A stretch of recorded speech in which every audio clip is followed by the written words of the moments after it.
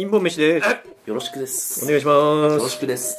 これはあ DMM ですか？これは DMM じゃなくてあじゃなくて。ね。私知り合いからなんか乾燥のポルチーニを大量にいただいちゃったんでほう。ポルチーニって何？キノコですか？乾燥したやついただいたから、まあ今回ちょっと DMM じゃなくてねそのまま使っちゃおうっていうことで。マジックマッシュルームではないってことですねえ？あ危ないやつじゃん。あそう。危ないですよね。まあでも調理法によっちゃ危なくなる。じゃあもしかしてちょっとこうね、別の精神世界が見える。あそう。いやいやトリップマンになるかもしれない、パスタかもしれない。ですね、いただきます。いきます。いただきます。あ。やっぱこうキノコってのはいい風味出すね。うん。うん。うまいよねうまいね。うん。いいなこれがポルチーニ。いい香りだ。うん、うん。週刊誌が賑やかだね最近はね。なんか楽しそうだよね。ん。伊藤さんは大丈夫だったな伊藤選どうなんですかね。なんかねわかんないけどね知らないですけどね。知らないですね。手松本人志さんも結構良かったけどね。うん。まあでも、まっちゃんも伊藤選手もこれは関係ないからね。その当事者の話だしね、うん。この解禁に向けてとかになつながるんですかね。まあ使われるでしょうねまあ意図的だよね、あのタイミングでやっぱさちょっと悪意があるようなタイミングでの発表だったよねあれはね。だから結局この始まるんですよ。今月からというか憲法改正の発議とかが始まっていくタイミングではあるからね。6月に向けて。ああそうだからちょうどいいタイミングで、まあ、ああいう報道がいっぱい出てるなというふうに思うんだけど、うん。炎上をなんかビクビクしていかなきゃいけないような風潮はできてるから、まあこれ一番いい方法は世間がもう触れないことだねみんな好きだから訴えた側もそれを報道した側のメディアもさ調子に乗るわけですよ。みんなそこに関心が向いちゃってるからね。なんか必要以上に燃えてんのかなっていうようなうん。気はするんですけど、まあ、あの別にね僕あの伊東純也選手が仮にそういうことをしてたとしてもまっちゃんがそういうことをしてたとしても僕一切迷惑かかってないのでそうなのよあの点決めてくれりゃいいんですよ伊東純也は。それでいいんですよ。いっぱい走って。うん、あのサイドをさぶち抜いてくれてねでセンタリング上げてくれりゃいいんですよ。でまっちゃんはボケてりゃいいんですよ、うん、それ以外何もいらないじゃないですか別に。その私生活なんか何してもプライベートだしも、っていうような僕はスタンスなんで、うん。どうでもいいっていうのは正直な感想なんですけど、まあ、ただちょっとこう不利な立場に置かれつつあるなと、うん。インフルエンス力がある人たちがね、うん。大変だよね。これマッチポンプできますよね。週刊誌同士で例えば別の週刊誌が、うん。女性の名前を例えば暴露とかしたら絶対いいぞこの週刊誌みたいになるじゃないですか。あそうだね。その週刊誌がまたまたなんか出した時に別の週刊誌がその告発した人に実名出したりしたりもうやり合い確かに俺はこういう情報持ってるぞみたいなね。でもあれ怖いよサッカーファン怒ったら。怖い人いっぱいいるからねあの世界ね。だからあの「週刊新潮」はあれ襲撃されるんじゃないか？怖い中枢の人たちが多分ね連合を組んで。もう太鼓とか持ってくるし 大旗振りながらさ。ジャンプして。伊東純也が抜けてさあそこに穴が開いてさ、負けたりしなしたらたまったもんじゃない？よあれうん。これ無罪だったらとんでもないことになる。とんでもない。お前これどうして食えんの、確かに。伊藤選手もあのタイミングで離脱しないとそれ裁判とかで戦えないわけでしょ。そうだね。まあ、忙しくなってくるわけまあそうね。あとはやっぱその本人のやっぱメンタルがちょっとこまあそうだね。まあ動揺してるっていうのがあるでしょうね、とりあえずねやっぱこう今メディアがやっぱ盛んになってるんでね、で多分こういう問題もきっと使われていくと思うんですよ。政治利用とか。だから今一度こうメディアやっぱちょっとこう触れた方がいいなとああ。思いましたね。うんまあいろいろこうメディアの本質というか。うん。だからその出したい情報が出てるわけだって本当に報じなければいけない情報っていうのは別に出てない時もあったりするのよでも本当にそれこそ俺らに関係のある話ってことそうそう。だけど政府としては出したくない情報とかっていうのが隠されてたりするんですよ。だからその仕組みっていうのはやっぱ知っとかないといけないっていうかね。まあ結局今テレビとか新聞ですよね。あまあ SNS なんかも拡散力随分持ってきましたけど結局一番世論に影響を与えてるのはやっぱテレビとかさ新聞なわけよ。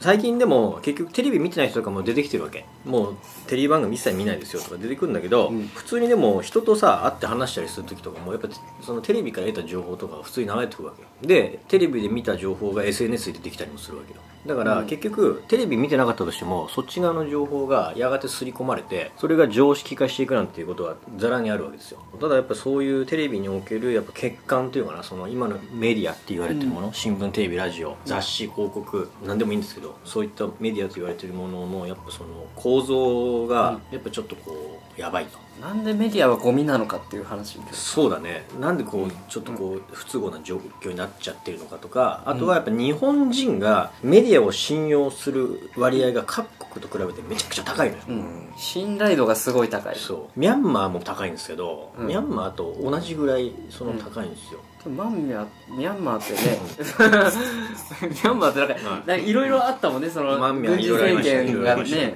クーデター起こしたりとか。だから一応軍隊が一番上なんだよ。人の信用度でいうと。その次日本はメメディアとかなっちゃってる他の国はあの宗教を信頼してる人とか多いんだけど、メディアを信頼してる率がやっぱ高い。だから週刊誌の報道とかもなんかみんな鵜呑みにしちゃうわけ、週刊誌も一応メディアに入る。メディアに入りますからね雑誌なんでね、まあ歴史長いもんね。うん、であとやっぱこうみんながこう足並みをそれと同じ報道をする理由っていうのがやっぱ記者クラブの存在ですよね。この記者クラブっていうのは明治時代に帝国議会の取材を受ける記者たちが結成したのが始まり。古っかなり古いですよね、うで、えっと、そういう団体が、まあ、政府警察などのとことこう結託して大手新聞社とかテレビ局とかのその重要人物の記者たちが提携を組んでるので情報を独占できてると。で首相官邸とか警察署内にもその記者室っていうのをも所有していて記者クラブが。でそこを活動拠点として内密にこう協力関係にあったりとかこういう報道してくれよとか今こういうのやめてくれとか、そういうようなあの協力関係にやっぱあると。確かにまあ変になんか間違ったこと言ってたらまずいねっていうのもあるしね。そうあとやっぱ結局そのテレビ番組報道番組が本来やるべきことっていうのは今こう国とかが行っている事柄を監視することなんでこいつらが今やってることが果たして本当にいいことなのかどうかっていうのを検証して報道するべきなのなんか悪い動きしてんじゃないのとかっていうふうに検証するべき第三者機関でなければいけないのに、うん。協力関係にあるから都合のいい情報しか流れなくなって。る、あくまで政府の機関としての機能を持っちゃってるっていうのが、まあ、まずやばいことですね。だから批判記事なんか書くことはもう難しいと、でうん。政府機関かもう一般庶民かのもう二択になっちゃってるわけかその中立の立場がいない。いないんですよ。第三者とされるとこがもうない。で各社新聞記者何でもいいですよ記者たちはですねまあ記者クラブ同士でみんなでこう記事の内容をさ一致させるわけですよ。取材内容をこういう感じでいいかみたいな。でそれを一斉にいろんなテレビ局とかになるんですよ、だからみんな同じ報道になるわけ確かにみんなパグリみたいな記事だもんな。そう。みんな一緒なん。ですよ確かうん。だからみんなあの右へ習いなんですよ、にうん。そういう構造になっていると。あとは、えースポンサー。大体新聞社においても収益の半分ぐらいは広告収入というふうに言われたんですからね。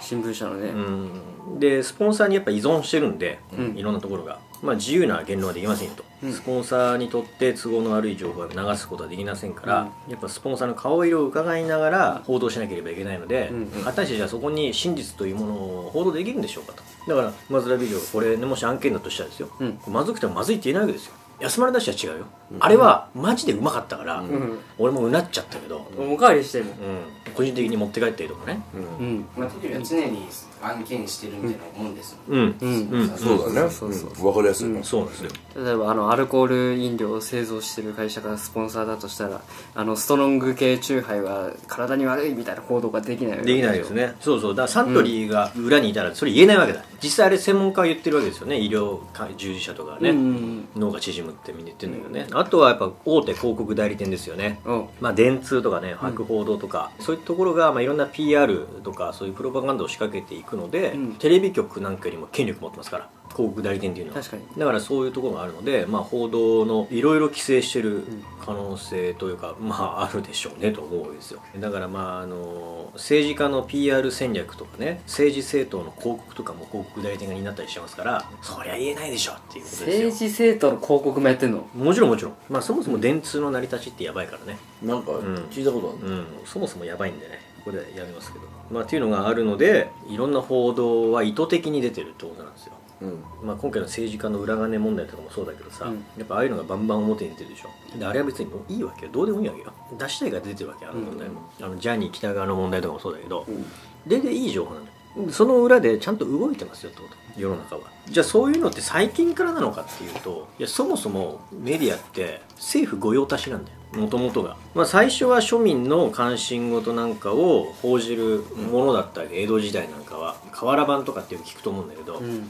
板になってペロペロって書いて、まあ、それをこうね持ちながらこう歩くとかね。天変地異とか。あとは火事とかあの江戸時代ほら火事みんな大好きだからさ。野じ馬だから、うん。俺もその DNA 入ってるからさ火事あったら俺野じ馬行っちゃうんだけどさ。濃いよね DNA うん。かなりかなりね。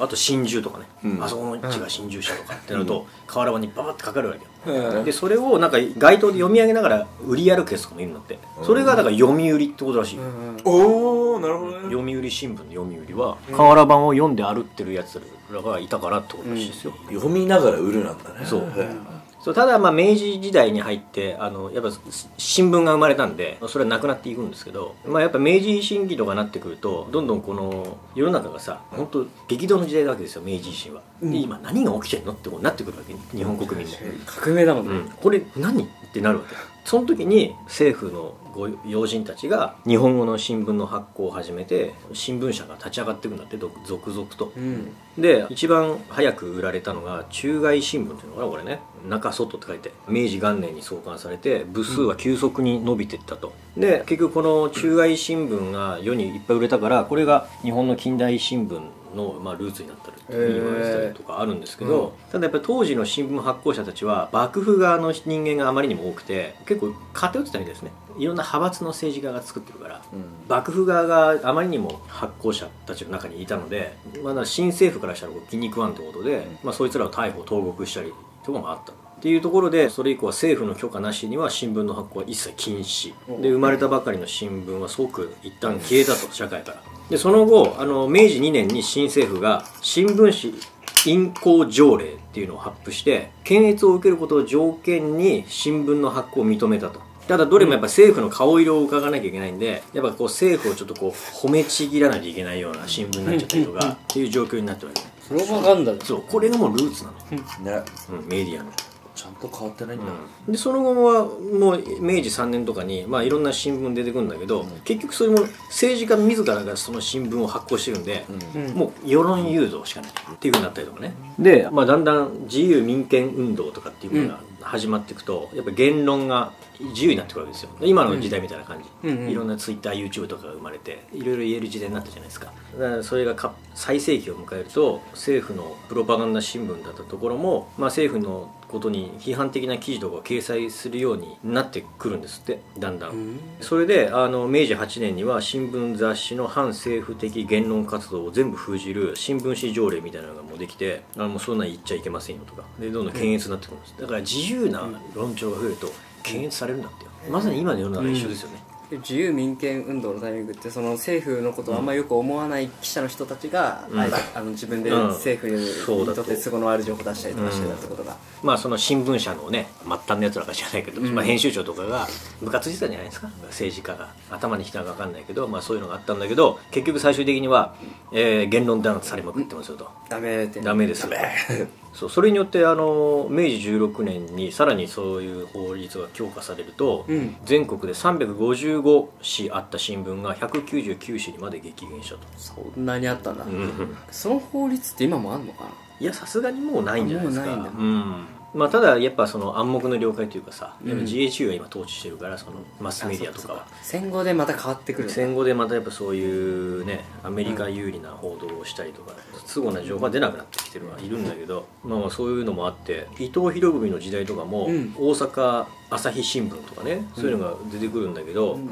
彼らもやっぱりやり方がうまくて大阪朝日新聞が政府を表面的に弁護することはなく中立をあえて見せながらうまくあの政府側についつくようななんかプロパガンダをしていったっていうような、え賢い、うん。うんあー中立的に見て政府が言ってることは間違ってないんじゃないかみたいな、うんそういう感じでうん。うまく新聞界でグイグイ言わしてみたいですよ。であとは日清日露戦争とかなってくると、あのまあどんどんね発行部数が売れていくと新聞が、よりこう、ピークを迎えるんだって、う。ん戦争気になるからみんな。世の中の人たちが、情報源がそれしかないもんね、そうだでそれで一気にマスメディアとして上っていくと。だけど戦争みたいなあんな大きな出来事がないとあんま売れなかったっていうところからいつでも売れるように新聞社たちは三面記事にあの脚色し始めたと。だから事件にこうなんかストーリー性を持たせて報道するようになったと。例えば事件が起きたんだけど、うん。その事件のにその人間性をちょっとこう入れてみたりとか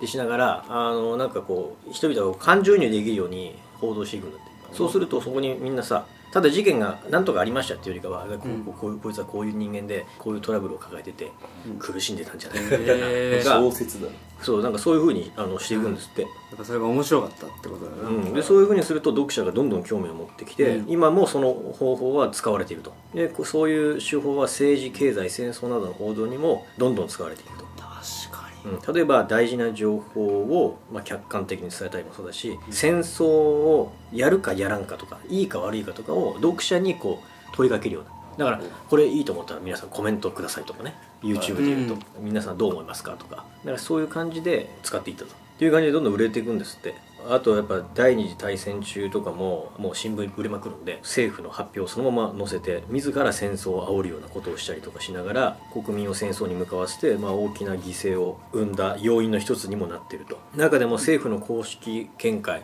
の大本営発表を受けた新聞社たちはミッドウェー海戦以降はあからさまな虚偽報道を行うようになって、うん。勝敗と正反対の発表さえ常に行われたっていうね。戦争プロパガンダってもうあの常に自分が有利であり続けるっていうふうに報道していくのがスタンダードらしいから、そうですね、でその虚偽発表っていうのは864回も行われたっていうふうに、おでその後別に戦争責任は新聞社は一切取ってないですよと。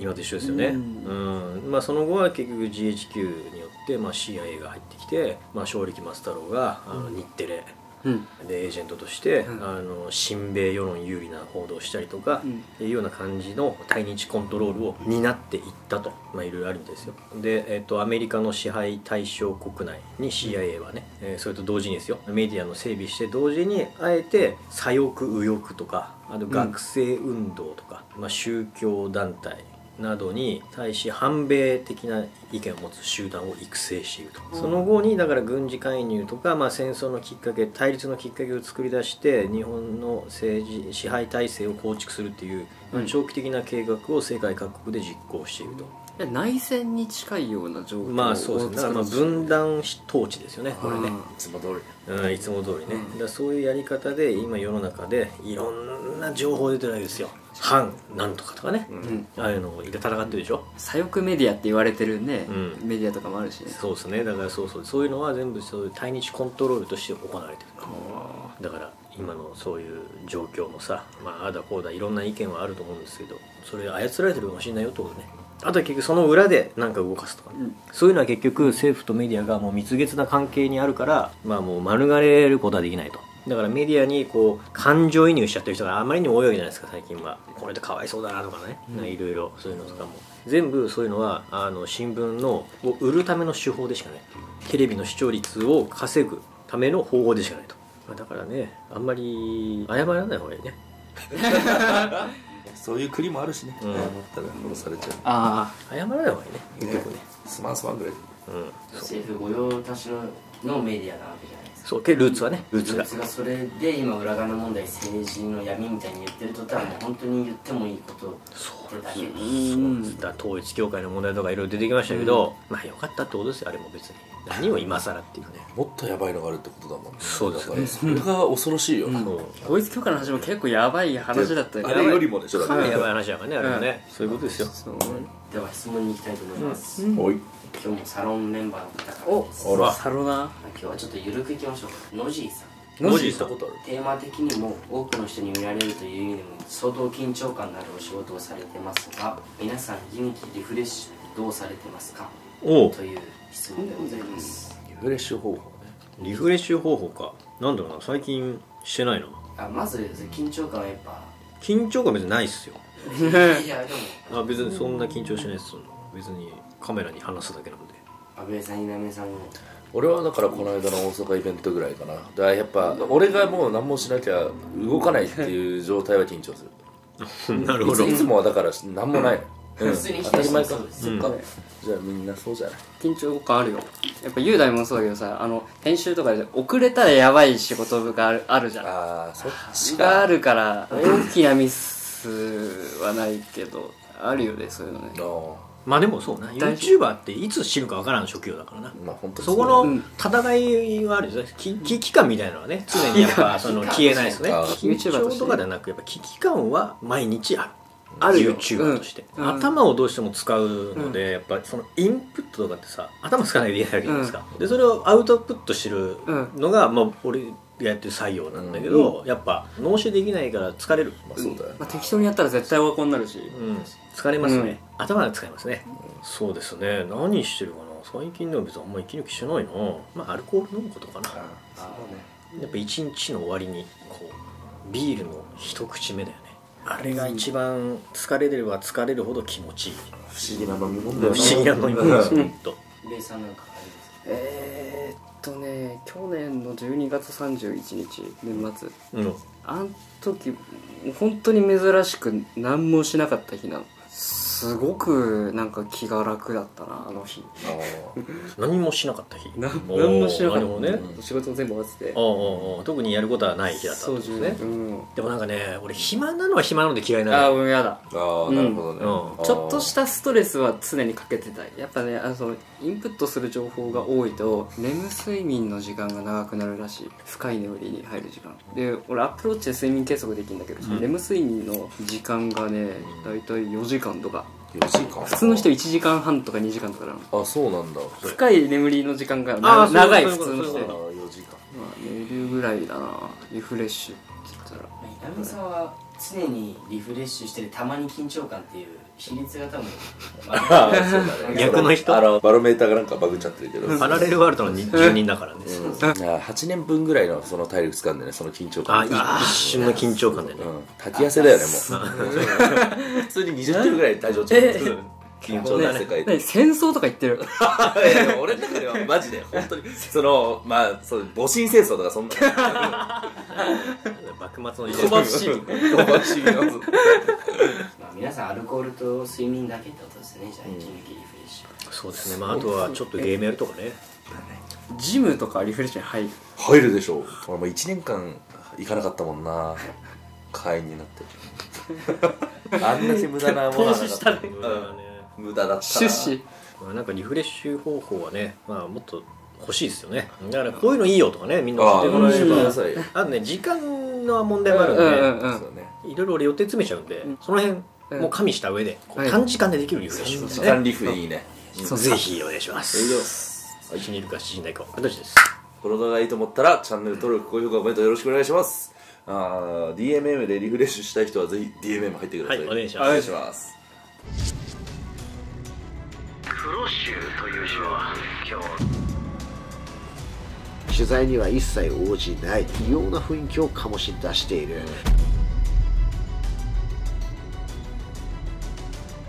私何にも知らんからそんな関係ないっていう。